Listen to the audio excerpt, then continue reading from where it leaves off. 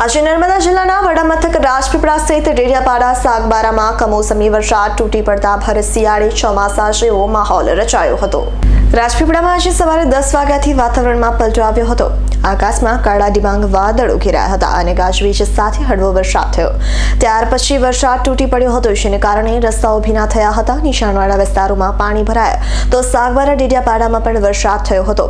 નગરમાં અવરનવર કરતા લોકોમાં અને વાહન ચાલકોમાં દોડધામ મચી જવા પામી હતી. અચાનક વાતાવરણમાં પલટો આવવાથી તાપમાનનો પારો નીચે ગગડ્યો હતો, જેને કારણે ઠંડીનું પ્રમાણ વધી જવા પામ્યું હતું. ખાસ કરીને કમોસમી વરસાદથી નર્મદાના ખેડૂતો ચિંતિત થયા છે.